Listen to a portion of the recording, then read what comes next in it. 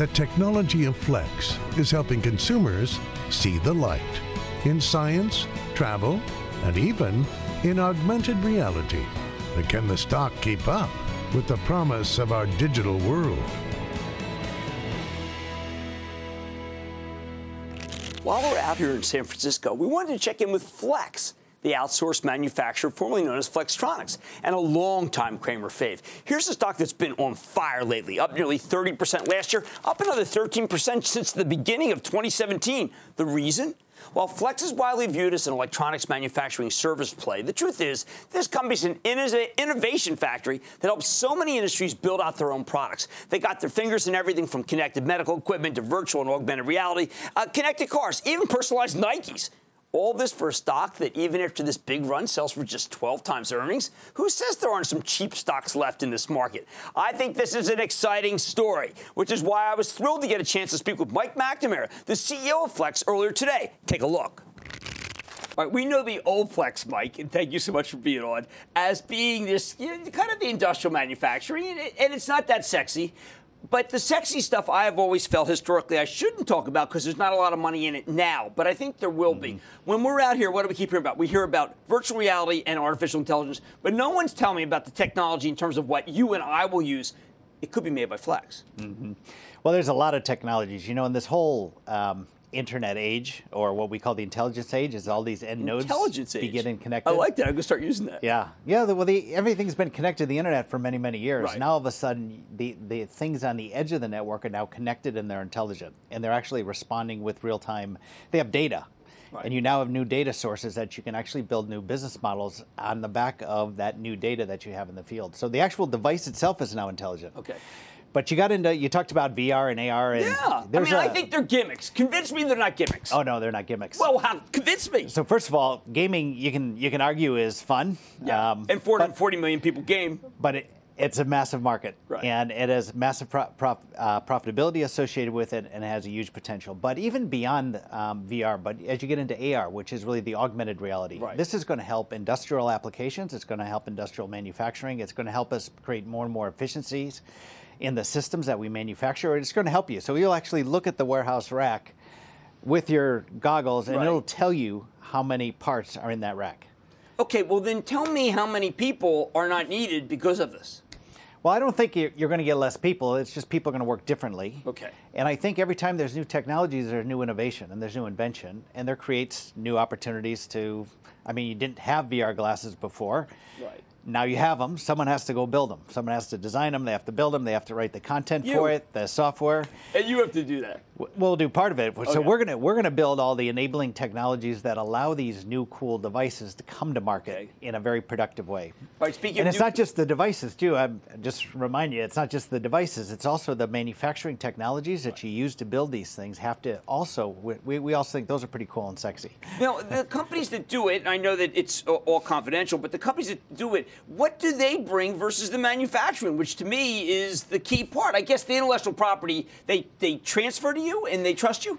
Well, it's the company has to think out how do I monetize it? Okay. What's the business model? What's the commercialization? What is the consumer? So they have to think about what are the problems they're solving with the technology. And then once you figure that out, then you need to back up and say, how do I manufacture it? I right. mean, how do I actually bring it to market? Because I'm going to create new invention. And, uh, and very often that new invention requires innovating on manufacturing process technologies, either the way it's built or even the process technology itself. Okay.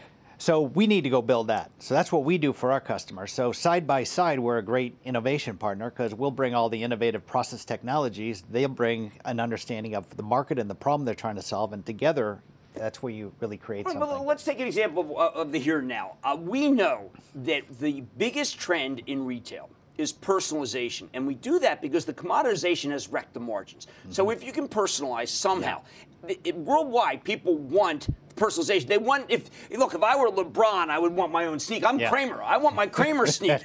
Nike yeah. looks to you to personalize. Yeah.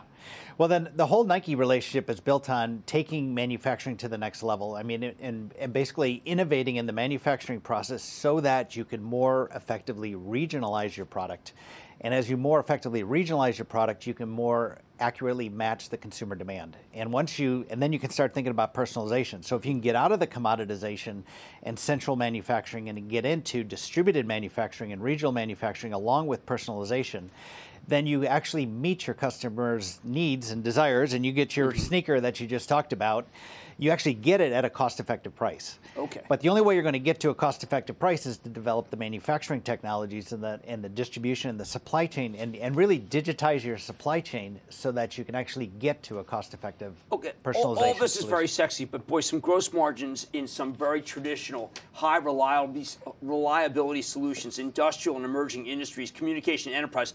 These are bedrock things that have given, mm-hmm. besides the sizzle, the steak that has gotten your your stock up endlessly since I've seen you. Yeah, yeah, we continue to drive. I, mean, the the two that you mentioned, the industrial energy, right. automotive, medical, those we put those into two different groups. Um, you know, in 2010, that represented right, roughly 15% of our overall revenue, mm-hmm. and today it's like 38% of our overall revenue. So it's actually a huge transition over the course of just uh, five years. And what that does is, and you know, there's plenty of sexy products in there too. I might well, give add. me some. I mean, I, to me, I thought that the healthcare was. I mean, I, I come what? and I say, like, if I could wear a patch that makes yeah. me be a hospital, uh, I could eliminate a lot of what the healthcare system is spending on. Yeah, and especially as people move more and more towards chronic diseases, as we start solving real problems around cancer and heart attacks and those things, you end up having to monitor health for longer periods of time. Um, it's actually arguably more effective to have continuous monitoring technologies like digital health, right. rather than go in the hospital and get periodic checks. And these are all technologies that are coming out. We're using some of these technologies that are coming out of the cool and sexy things like health trackers. Right. That we can now apply across into continuous blood glucose meters. Okay. So, and then you also have the connected technologies, and you have the fact that everything's connected. Do the I have edge connected is connected. car here? Well, you're going to have, well, for sure you have you? a connected car in there. Where, where, are you, where are you in that? In we're, that food we're right in the middle of enabling it. well, I mean, I know. So think about I love the companies car. that make chips. Ford. You th- I love the car companies but someone is manufacturing, and it's you. Yeah, we've we've got uh, a number of different initiatives into the autonomous vehicle. Again, we're not deciding the use case or, right. or how we're going to sell them, but you've got lidar technology. Someone has to go build those right, right. and create those technologies. And when you think about the autonomous car of the future, the amount of data and the processing of the data is off the charts. And now all of a sudden, you need servers in cars.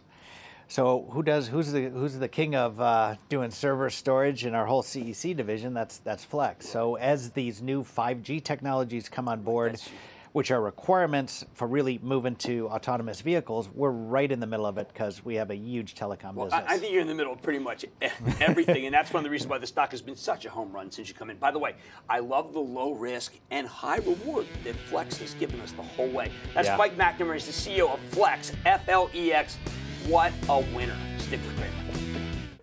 Booyah! Jim Cramer here from Mad Money. Thanks for watching CNBC on YouTube. Click here to subscribe and get the jump on my exclusives with CEOs, plus market news, investing advice, and a whole lot more.